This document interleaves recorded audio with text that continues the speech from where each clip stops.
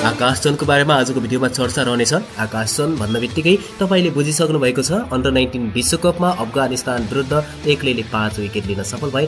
यसै प्रदर्शनको आधारमा अन्तत उनी नेपाली राष्ट्रिय टीममा पनि समावेश भएका छन्। यसको लागि पनि बधाई दिनुपर्छ आकाशचनलाई भविष्यका युवा स्टार रहेका छन् र उनले अफगानिस्तान विरुद्ध यो उत्कृष्ट प्रदर्शनसँगै सुपर सिक्समा नेपाल टीमलाई पुर्याएका थिए। र नेपाली क्रिकेट टीमको जितमा अहम भूमिका खेले म्यान अफ द म्याच समेत उनी घोषित भए र आकाशचन नेट बोलरदेखि विश्वकपमा नेपालको हिरोसम्म पनि आकाशचन को हुन्? क्रिकेटमा उनले गरेको सङ्घर्षको बारेमा चर्चा रहनेछ र अब के सिनियर टिममा आकाशचनलाई भित्राउन पहल गरिएला। यसबारेमा पनि अपडेट रहनेछ। भिडियोलाई अन्त्यसम्म हेरिदिनुहोला। यदि तपाईँलाई यदि तपाईँलाई क्रिकेट मनपर्छ अथवा नेपाली खेलकुद सम्बन्धी सम्पूर्ण अपडेटहरू चाहनुहुन्छ भने अवश्य पनि च्यानललाई एक सब्सक्राइब गरिदिनुहोला। भिडियोलाई एक लाइक गर्न पनि नबिर्सिनुहोला। आउनुहोस्। ढिला नगरी आजको विषयवस्तुतर्फ नै लागिहालौँ।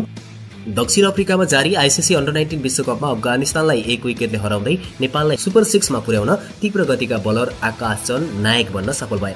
सुपर सिक्समा पुग्न निर्णायक खेलमा बलियो टेस्ट टोली अफगानिस्तानलाई एक सय पैँतालिस रनमै रोक्न आकाशले जादुमय बोलिङ पनि गरेका थिए। दक्षिण अफ्रिकाको बफेलो पार्कमा अफगानिस्तानले टस जितेर पहिला ब्याटिङ गर्ने निर्णय लिएको थियो। बलियो योगफल बनाउने लक्ष्य राखेर पहिला ब्याटिङ रोजेको अफगानिस्तानको लागि आकाश भिलेन पनि बनेका थिए। नेपालको त सुपर हिरो नै बने। उनले उत्कृष्ट बोलिङ गर्दै पाँच विकेट एकले लिएपछि अफगानिस्तान सुरुवातमै एघार दशमलव तीन ओभरमा त्रिचालिस रनमा छ विकेटको दयनीय अवस्थामा पुगेको थियो। त्यसैको कारण पनि अफगानिस्तानको ठूलो योगफलको सम्भावना सकिएको थियो। खेलको प्लेयर अफ द म्याच पनि आकाश चर्ने चुनिए। उनले सुरुवाती छ ओभरमा मात्रै तेह्र रन खर्चेर पाँच महत्वपूर्ण विकेट लिएका थिए। आठ ओभर मात्रै बलिङ गरेका उनले चौतिस रन खर्चेर पाँच विकेट लिन सफल भएका हुन्। न्युजिल्यान्डसँगको खेलमा पनि उनी एक्लैले तीन विकेट लिँदै आफ्नो लय समातेका थिए। उनको सुरुवात भने नेपाली अन्डर नाइन्टिन क्रिकेटको नेट बलरदेखि भएको हो। नेपाल क्रिकेट संघ क्यान दुई हजार सोह्रको निलम्बनमा परेपछि घरेलु प्रतियोगिता शून्य जस्तै थियो। दुई हजार सत्रदेखि सिनियर टोलीको प्रधानमन्त्री कप सुरु भएको थियो। उमेर समूहमा क्रिकेट नेपालमा कतै पनि हुँदैन थियो। त्यसैले पनि अन्डर नाइन्टिन टोली निर्माण ट्यालेन्ट हन्टबाट आयोजना हुने गर्दथ्यो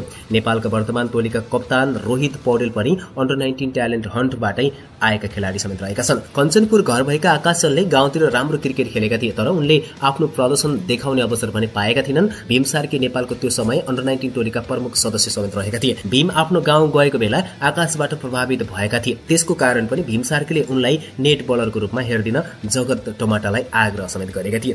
त्यो समय जगत टमाटा आइसिसीको छनौट समिति राखेपको क्रिकेट प्रमुख प्रशिक्षक र सिनियर टोलीको मुख्य प्रशिक्षक समेत रहेका थिए। त्यसैको कारण पनि उनी कञ्चनपुरबाट नेट बलरको रूपमा काठमाडौँ प्रवेश गरेका थिए। यो समय केही पहिलाको थियो तर अहिले ती आकाश छन् एउटा स्टार भएर उडाएका छन्। उता गाउँतिर उसले राम्रो गरेको थियो। हामीले गुरुसँग कुरा गरेर नेटमा आएको थियो। खासमा त्यो ब्याटर थियो तर पछि बलिङ गर्दा गर्दै बलर भन्यो पहिला प्रतियोगिता हुँदैन थियो। त्यसैले गुरु यस्तो बलर छ नेटमा फाल्न भए पनि बोलाउनु न भनेर कुरा गरिदिएका थियौँ भीम सार्कीले सम्झँदै भन्दछन्। त्यसै समयमा नेपालको अन्डर नाइन्टिन प्रशिक्षण टियुमै चलेको थियो। स्पिनर सन्दीप लामिछानेले पनि अन्डर नाइन्टिनसँगै अभ्यास गरेका थिए। अन्डर नाइन्टिनको प्रशिक्षणमा नरहे पनि नेटमा ब्याटिङमा सन्दीप लामिछानेलाई आकाशनले त्यो समय दुई छक्का हानेपछि तत्कालीन अन्डर नाइन्टिन मुख्य प्रशिक्षक विनोद दासको नजर उनीमाथि परेको थियो। सन्दीपलाई हानेको एक छक्का र एक चौका हान्नु उनको करियरको टर्निङ पोइन्ट पनि बनेको थियो। नेपालले दुई हजार उन्नाइस जुनमा हैदराबादमा भारतको तीन टोलीसँगै Nepal under nineteen challenger series खेलेको थियो। त्यो सिरिजमा उनले पहिलो पटक नेपालको अन्डर नाइन्टिन खेल खेल्ने सुनौलो मौका पाएका थिए। दुई हजार उन्नाइसमा विश्वको चर्चित मेर्लिबोन क्रिकेट क्लब एमसिसीले नेपाल भ्रमणमा आउँदा उनले नेपाल एबाट खेल्दै एक विकेट पनि लिन सफल भएका थिए। अब उनको घरेलु क्रिकेटमा कस्तो प्रदर्शन रह्यो लगातार खेल्न पाए पाएनन् अथवा उनी बेन्चमा रहे भन्ने बारे पनि जानकारी लिउँ दुई हजार उन्नाइसको दोस्रो संस्करणको पोखरा प्रिमियर लिगमा उनलाई पोखरा पल्ट पल्टनले टोलीमा किनेको थियो। तर उनले एक खेल पनि पोखरा पल्टनबाट खेल्न पाएनन्। दुई हजार एक्काइसमा एभरेस्ट प्रिमियर लिगमा पनि उनी काठमाडौँ र गत वर्ष नेपाल टी ट्वेन्टी लिगमा पनि लुम्बिनी टाइगर्सको टोलीमा रहेका थिए। तर एक खेल पनि उनले खेल्ने अवसर भने पाएनन्। उनले दुई हजार एक्काइसदेखि त्रिभुवन आर्मी क्लबबाट खेल्दै आएका छन्। आर्मीमा सोमपाल कामी जितेन्द्र मुखिया विक्रम सोप पहिलो रोजाइमा खेल्दा उनी बेन्चमा बस्दै आएका थिए। दुई हजार एक्काइसको पिएम कपमा तीन र दुई हजार बाइसमा पुरै खेलमा बेन्चमा बसेका थिए। आकाश। छन् र त्यस्तै दुई हजार उन्नाइसमा भारत भ्रमणपछि नेपालको अन्डर नाइन्टिनको राष्ट्रिय खेल परेन। दुई हजार एक्काइसको अन्डर नाइन्टिन एसिया कपमा उनी नेपालको टोलीमा पर्न सकेनन्। गत वर्ष युएमा सम्पन्न आइसिसी अन्डर नाइन्टिन विश्वकप एसिया क्षेत्र डिभिजन एकको छनौटमा उनी सुरुवातमा नेपालको टोलीमा पनि परेका थिएनन्। तीव्र गतिका बोलर गुलसन सिनियर टोलीबाट आइसिसी विश्वकप लिग दुई खेल्ने भएपछि उनले अन्डर नाइन्टिनमा मौका पाएका थिए। त्यो अवसरलाई भने उनले कति पनि खेर फालेनन् त्यसपछि पहिलो रोजाइमा खेल्दै उनी आइरहेका छन्। विश्वकप छनौटको दुई हजार तेइस एसिया अन्तर्गत युएमा चार खेलमा एघार विकेट लिँदै विश्वकपमा स्थान पक्का गरेका थिए। जस क्रममा उनले कुवेट विरुद्ध छ विकेट लिँदै सनसनी मचाएका थिए। त्यसपछि उनले नेपाललाई एससिसी अन्डर नाइन्टिन प्रिमियर कपको उपाधि दिलाउन दुई हजार तेइसमा आठ विकेट लिँदै राम्रो प्रदर्शन पनि गरेका थिए। त्यस्तै अर्का तीव्र गतिका बलर हेमन्तसँग उनको जोडी रहेको थियो। दुई हजार बाइसको डिसेम्बरमा सुदूरपश्चिमलाई अन्डर नाइन्टिन राष्ट्रिय प्रतियोगिताको उपाधि जिताउन शानदार प्रदर्शन गरेका हेमन्तले उन्नाइस र आकाशले पन्ध्र विकेट लिन सफल भएका थिए। अन्डर नाइन्टिन विश्वकप छनौट अन्डर नाइन्टिन प्रिमियर कप र अन्डर नाइन्टिन एसिया कपमा यी दुई जोडीले मजाले जमेका थिए। हेमन्तले नयाँ बलका साथ इनस्विङ र आकाशले बााउन्सका साथ विकेट लिँदै आइरहेका थिए। तर खुट्टामा चोटका कारण हेमन्त विश्वकपमा नै परेनन् र आकाश चन्दसँग हेमन्तको जोडी छुट्न पुग्यो। यदि अन्डर नाइन्टिन विश्वकपमा हेमन्त धामी पनि भइदिएको भए अझै यी जोडीले तहल्का मचाउन सक्ने सम्भावनाहरू धेरै नै थिए। आकाश चन्द सिनियर टोलीको पनि नेट बलरको रूपमा काम गरे। यसबारेमा पनि केही जानकारी लिउँ। आकाशले दुई हजार एक्काइसदेखि लगातार सिनियर टोलीको नेट बलरको रूपमा प्रभाव जमाउँदै आइरहेका थिए। नेट बलरबाट नै बायाँ हाते प्रतीश जीसीले नेपाली टोलीमा खेलिसकेका छन्। आकाश र प्रतीश नेपालको लगातार नेट बलरको रूपमा रहँदै आइरहेका थिए। घरेलु प्रतियोगितामा प्लेङ एघारमा मौका नपाए पनि उनले टियुमा नियमित प्रशिक्षण गर्दै आइरहेका थिए। नेपालको सिनियर टोलीसँग बन्द प्रशिक्षणमा नेट बलरको रूपमा आफूलाई निखार्दै लगिरहेका थिए। त्यसैको कारण पनि उनीमा निखारापन बढ्दै गएको हो। अब विश्वकपमा उत्कृष्ट प्रदर्शन गरेपछि अब के नेपाल क्रिकेट सङ्घ क्यानले ए टोली बनाउँदैछ? के आकाश चन्द ए टोलीमा आउँछन्? अथवा सिधै सिनियर टोलीमा उनी आउन सक्छन्? भन्ने धेरै समर्थकहरूले जिज्ञासा राखिरहेको अवस्था पनि छ। अब आकाश चन्दलाई सिनियर टिममा आउन भन्दा पनि ए टिममा आउनको लागि निकै नै सहज बनेको छ। क्यानले अन्डर नाइन्टिन विश्वकपमा उत्कृष्ट प्रदर्शन गर्ने खेलाडीहरूलाई नेपाल एमा समेट्ने जनाइसकेको छ।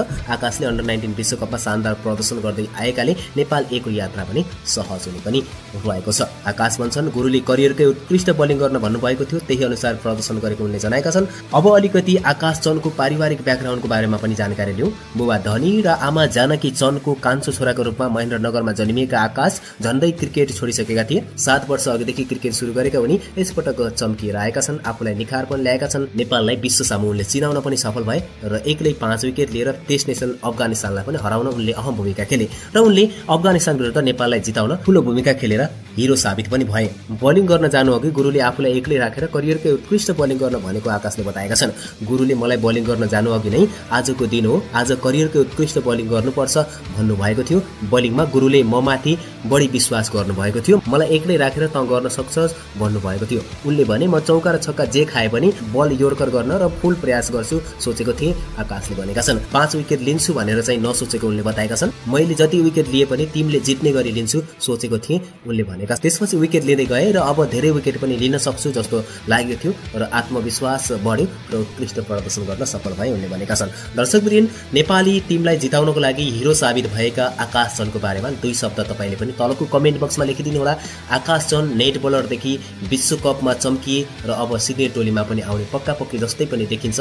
उनले उत्कृष्ट प्रदर्शन गर्न सफल भएका छन्। के लाग्छ कि अब नेपालको ए टिममा आउनुपर्छ अथवा सिनियर टिममा आउनुपर्छ? आकाश चन्द यसको बारेमा तपाईँले कमेन्ट गरिदिनु होला र आकाश चन्दलाई बधाई लेख्नु होला। एक्लैले पाँच विकेट लिएर सनसनीपूर्ण जित दिलाउन सफल भए अफगानिस्तान भने नेपाल क्रिकेट टिमसँग पराजित भएर बाहिरिएको छ। यसबारेमा नेपाली क्रिकेट टिमलाई कङ्ग्रेचुलेसन लेखिदिनु होला र आकाश चन्दलाई पनि गुड लक शुभकामना र अझै अगाडि प्रगतिको लागि धेरै धेरै शुभकामना पनि दिन नबिर्सिनुहोला आकाश चन्दको यस सङ्घर्षको कथाबाट भर्खर नेपाल क्रिकेट टिममा आउनको लागि तयारी भइरहेका भाइ बहिनीहरूले पनि केही ठुलो प्रेरणाहरू पाउन सक्छन्। उनको यस कुराहरूबाट पनि मोटिभेट हुन जरुरी छ। सङ्घर्ष गर्नुपर्छ निरन्तर मेहनत गर्नुपर्छ सफलता एक न एक दिन आफ्नो हातमा आउँछ नै भन्ने सन्देश पनि यहाँबाट हामीले पाउन सक्छौँ। हौस् त दर्शक यस्तै अर्को नयाँ सामग्रीको साथमा हाम्रो भेट हुने नै छ। तबसम्मको लागि हामी सबैलाई बिदा दिनुहोस्। च्यानललाई सब्सक्राइब गरिदिनुहोला नयाँ अपडेटको लागि।